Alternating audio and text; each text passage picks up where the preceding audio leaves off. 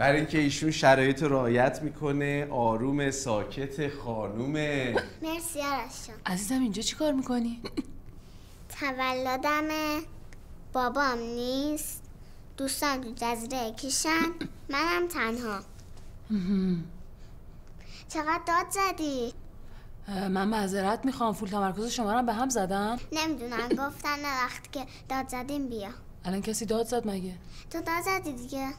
بگو اسمتو به خاله. اسمم دنیاست اما همه پسر دنیا صدا می‌کنه. منم اسمم بیتاست ولی پسرا سالها صدام نمی‌کنن. چرا صدات نمی‌کنن؟ دکتر صدام می‌کنن دکتری؟ بله. دکتر چی؟ دندونات خراب میشه میری پیش کی؟ دکتر دندون. منم دکتر دندونم. دندونات باز کن. ها ببند تو. همش سالمه مسواک می‌زنی؟ نه خیلی کم. خب خیلی بعد اینجوری دندونات خراب میشه دهنت بو می‌گیره دوستات ولت می‌کنن. بو می‌داد؟ نه آخه من بو نکردم. بقیه هم بو سکسکش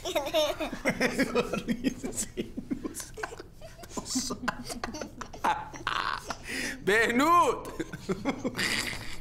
بهنود! به بهنود به به بهنود. ای وای. ای بابا باز اومد. اسکالیوس. با این لباس. با این لباسا شما نیم ساعت دستشویی بودی؟ بله بله درک کنم که چه عذابی می‌کشم اونایی که این لباسا رو میپوشن میرن دستشویی.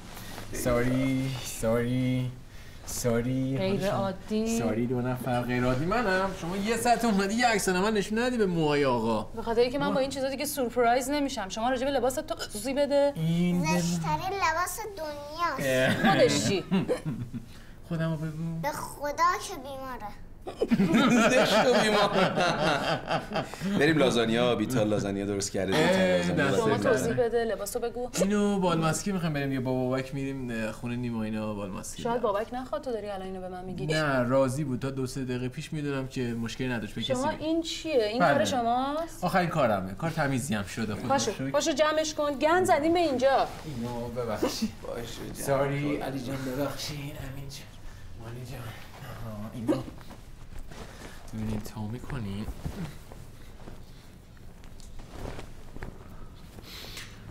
مگه شام نخورم ناراحت میشین این مشکلی نداره نه دیگه تو شام دوست داریش آها این همون لازانیاست آره، که شام. من نمی‌دونستم این اونه بریم اینی که لازانیا قول داده. بودینه بریم کمک کنیم لازانیا رو آماده کنیم. البته اگه مزاحم لایک کردنتون نمیشیم آ نه. مشکلی نداره.